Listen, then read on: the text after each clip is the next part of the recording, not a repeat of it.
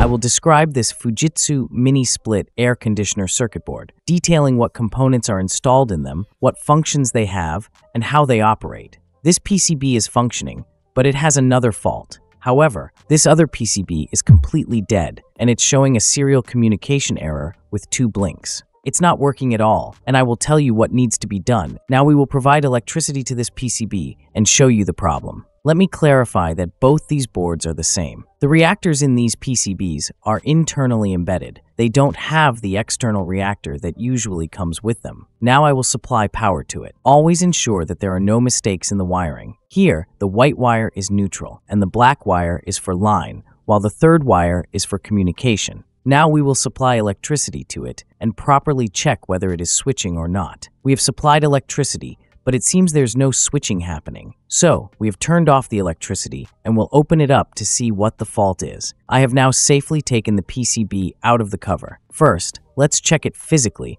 to see if any part is damaged or burned. On initial inspection, nothing seems to be wrong. However, on the other side, we can see that some repairs have already been done, which means someone has worked on it before. It appears that there has been work done on the PTC sensor, and there seems to be a problem with the print, so let's go ahead and start working on it and see what results we get. Now that we have physically checked the PCB and noticed a small problem, we still need to perform proper testing because it is completely dead. The first thing to check on a dead PCB is its fuses. We will set the multimeter to continuity mode and check the fuses. The main fuse is 20 amperes and the other one is a 5 ampere fuse, and both fuses are fine. Next, we have the PTC sensor and a transformer-like component attached. Now, let's turn it around and check its position. Here we see CT1 and then R1. We will test both of them, so we place the meter here. We should get some ohms here, and we're getting 0.7 ohms. After that, when we check the PTC sensor, we are getting 43 ohms, which means the PTC sensor is completely fine. After checking this, we need to check the line filter and the reactors installed here. Once you've tested these components,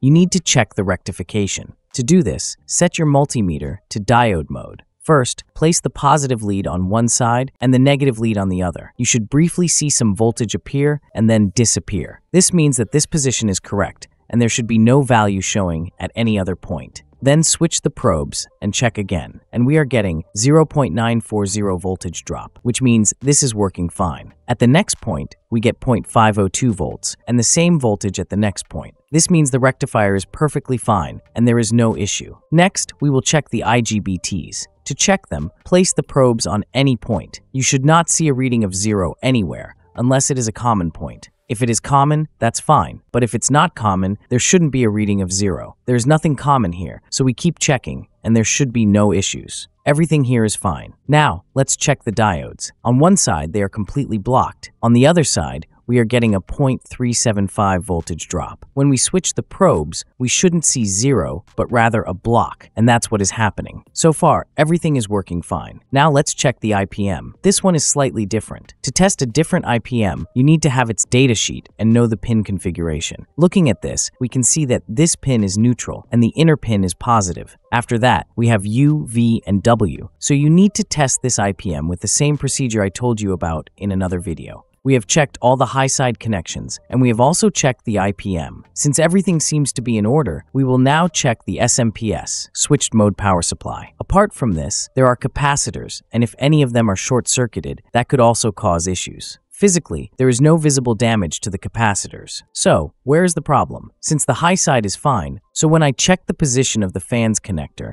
I notice some damage here. This means there might be an issue in the fan's circuit. And since the fan circuit is directly connected to the SMPS, it could indicate a fault in the SMPS as well. Now we will check this SMPS, but the advantage is that I will explain it to you using the schematic diagram. I will show how the system is built inside, what components are connected to each other, and why they are connected. I will give you all the details step by step. Here, we will use some different techniques, and I will explain everything as I go along. I have drawn an IC, which is IC number 50. This is the switching IC installed here, and its number is IC50. Along with it is a chopper, labeled as T60. I have drawn both of these. Now, I will show you another technique, how to identify and read the schematic diagram. Notice, if there are lines that are apart, it means they are not connected to each other. However, if lines are crossing each other, how can you tell which wire is connected to which? If the lines are crossing but not intersecting, it means they are just jumping over each other and not connected. But if there are points where the lines join, it means those wires are connected to each other. This is how you should read the schematic. I have now drawn a circuit. As you can see, the input of the 320 positive DC volts is going directly to the chopper. If you look here, it's going straight into the chopper. After that, the negative point for the chopper to turn it on will come through switching IC, and its pin 5, called the drain, will provide a negative supply. The circuit I've designed here is a safety circuit that comes into play after the system is turned on. If any spike crosses through after turning on, it will enter the system through this diode. It will pass through the diode and reach the capacitor. The capacitor will absorb the spike and stabilize the SMPS. This safety circuit has been added to protect the system. Now I've drawn another circuit here, but before we go further, let me explain something. The switching IC has 7 pins in the diagram I've drawn, but notice that it actually has 11 pins six on one side and five on the other. Don't get confused by this because only the usable pins are shown in this way, so there's no need to worry. Now let's talk about the circuit I've drawn. There's a 470 kilo ohm resistor and three 510k resistors connected here. The voltages come from this point and are reduced significantly so that very low voltages reach pin number 1. You can see an M marked here, which stands for monitored voltages. This switching IC also monitors the input voltages to check for fluctuations. If the input voltage rises too high, the voltage at this point will also increase, which will cause the system to shut down. This is why a preset system has been added to monitor the voltages at this point. We've given the 320 volts directly to the positive side of the chopper, but the negative side will go to the switching IC at all its source points. So which pins are its source points? Pins 2, 3, 8, and 7 are all source points. As soon as the switching IC turns on, it will complete the circuit through the drain. Now the high side is complete, so let's talk about the low side. On the low side, pin 10 of the chopper needs to receive 15 volts. The ground for the low side is taken from the chopper itself, and a capacitor has been installed here to filter the DC 15 volts. Next, let's talk about pin 9 of the chopper. Here, we find a diode. The diode is used for safety to prevent the return of voltages, protecting the chopper. Similarly, we need to receive 12 volts here, and a capacitor is installed to help stabilize these voltages. Additionally, a 10 kilo ohm resistor is used so that if the voltage exceeds 12 volts, it will be discharged through this resistor, ensuring that the 12 volts remain stable. Now let's discuss pin numbers 7 and 8. Pin 7 is directly grounded, as you can see. On pin 8,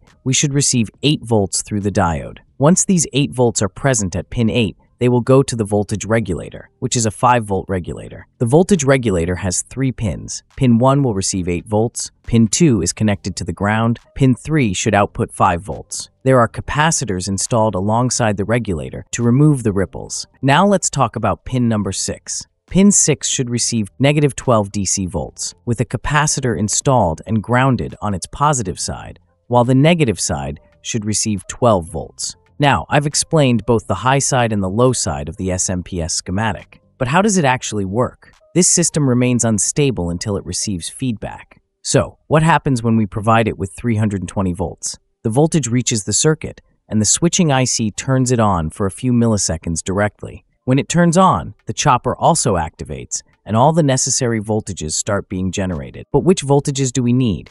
Specifically, at pin 4, which is the control pin, we need some voltage. Where does this come from? The 15 volts generated here will be directed toward this point where a diode is installed. Alongside it is a Zener diode. Typically, systems use a reference IC, but here a Zener diode is used instead. The Zener diode functions like a voltage regulator. When 15 volts are received, the 8.2 volt Zener diode will only allow voltage to pass once it exceeds 8.2 volts.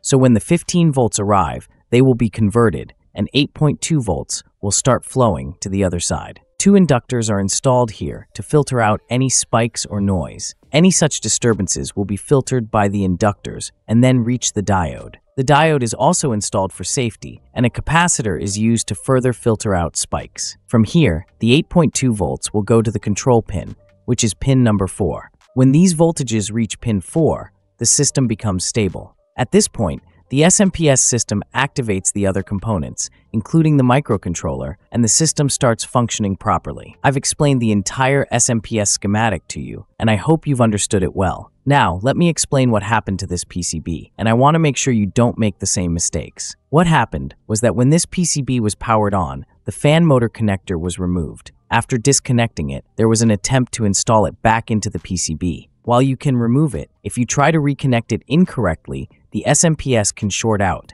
Additionally, the high side print on the PCB board got damaged, and the 15 volts it was supplying was also lost. There was also a resistor here that had a resistance of 0 ohms, and it got burnt out. Furthermore, diode number 60, which was responsible for the 15 volts, has also failed. Look at the diode number 60. If we check it, it shows 0 voltage drop. After that, when I change the polarity and check again, it still shows 0 voltage drop. This means it has shorted. Moreover, someone has changed a resistor and replaced it with an SMD component because the original dip component was damaged. Let's check diode number 63 on the backside. This diode also shows zero voltage drop, and when we change the polarity, it still shows zero voltage drop. Both of these components need to be replaced, and once they are, the PCB will be completely functional again. I hope you have learned how to check a PCB like this and that you understand the schematic I've shared with you. Click on the left or right thumbnail to watch our next videos and subscribe.